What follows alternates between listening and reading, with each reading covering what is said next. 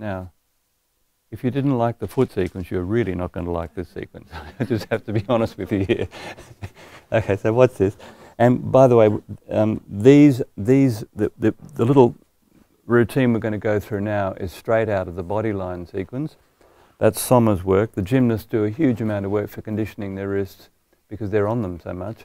And they have to take, when they do those handstands and they do those spins and, and jumps and things, they're taking over double their body's weight, three times their body's weight through their wrists.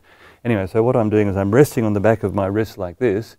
I'm letting the body's weight press down on the back of the wrist. I've got the elbows completely straight. And then watch, you just lean a little bit of weight sideways. Now don't kill yourself here. If you've never done these before, just take your time. And let the ligaments, the extensor ligaments, stretch. And relax. Then hands like this and move the body's weight forwards, again with the elbows straight.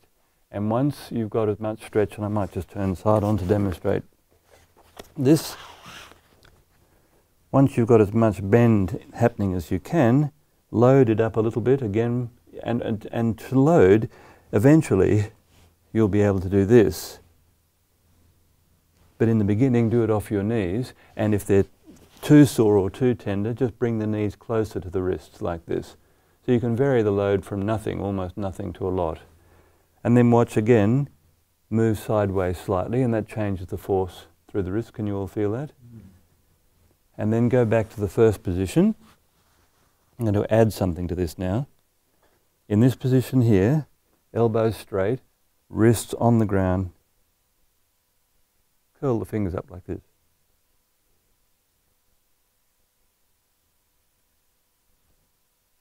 Try to keep the elbows straight, Christine. and there's another version of this, it looks like this.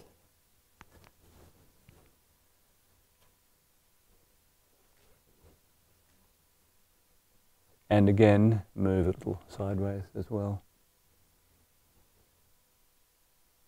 And then turn the fingers back to you like this. Elbows straight once more and simply move your body's weight backwards. I might just turn and sideways and show you that from the side, like this. And slight movement sideways as well.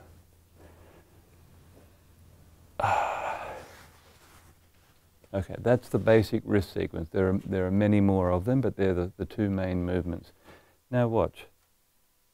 Put your hands like this where you've lifted this part of the palm off the floor. And so I'm only contacting the floor on fingertips and do it on the floor rather than on your mat. Now, grip the fingers through the floor. Do it on the floor so you can slide. I'll, I'll show you what we're doing next. After you've done the gripping thing, watch, you press this part of the hand, this part here, down onto the floor without actually touching the floor so that the fingers are bent backwards in relation to the hands, and you should be able to feel all the fascia in the palm of your hand being stretched. Can you all feel that? Now, for massage therapists, this is absolutely essential to keep this all supple. And if you look down on my hand, you'll see the thumb is in exactly the same line as the little finger.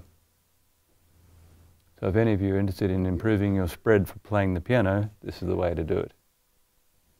And now the other hand, so like this push the fingers away or sort of into the floor to spread them. And grip really hard as though you were trying to squeeze the fingers together through the floor. Stop, go further. Can you all feel that? And relax.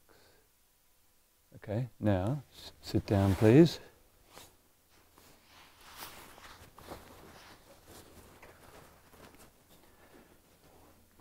The finger sequence.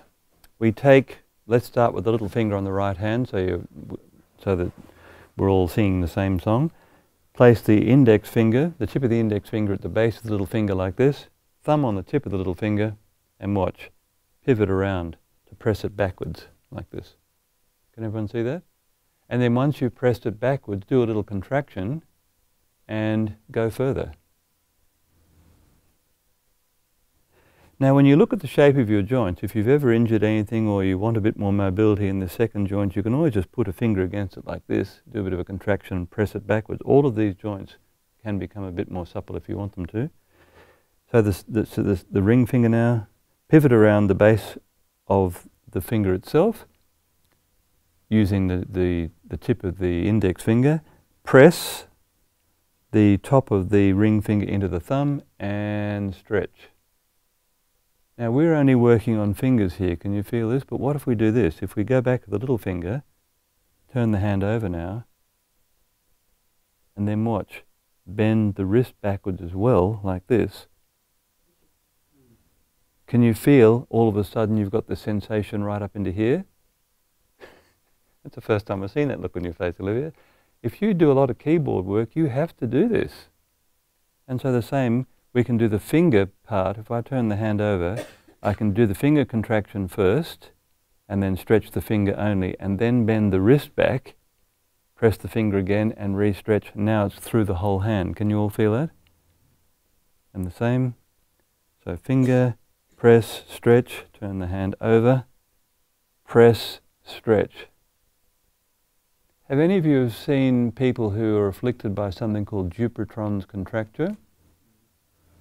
That's where the fingers, Bill Nighy, the actor Bill Nighy, his fingers are completely like this. He can't straighten them at all. My dad had it too. It's carried on a particular gene. Um, men get it. I don't know whether women get it. Women do.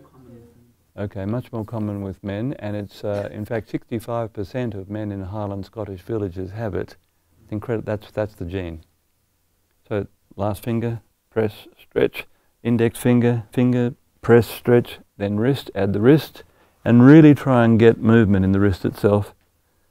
Stretch, and now my favorite, the thumb. First, flex the wrist like this, and hold the back of the forearm and pull the thumb to the inside of the forearm. Now, a lot of women can put the, the, the thumb on. Can you do that? Yeah. Not so many men. Do a contraction by pressing away and then re-stretching. Sure. Lleyton Hewitt.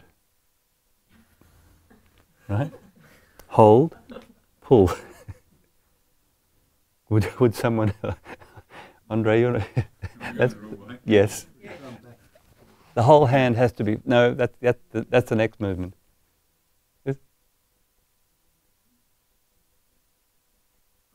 That's it.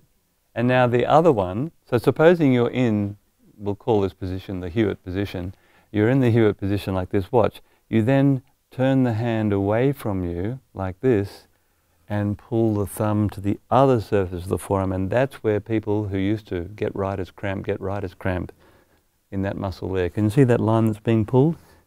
Do a contraction and re-stretch. Now once you've done that sequence, just feel your whole hand. Is that amazing? Do you put the pressure on the last joint? Yes. yes. At the joint or right at the tip? Um, anywhere where I can get some, what our American colleagues call leverage.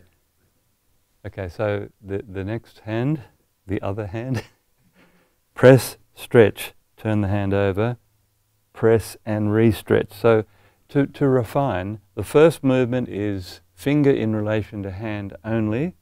The second movement is finger in relation to hand and then wrist in relation to forearm. So we're stretching the whole, the whole of that line through there. So again, press, stretch, turn the hand over, press, straighten the elbow, stretch.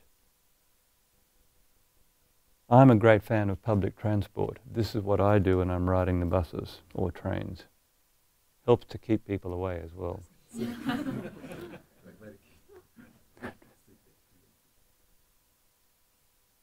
Oh.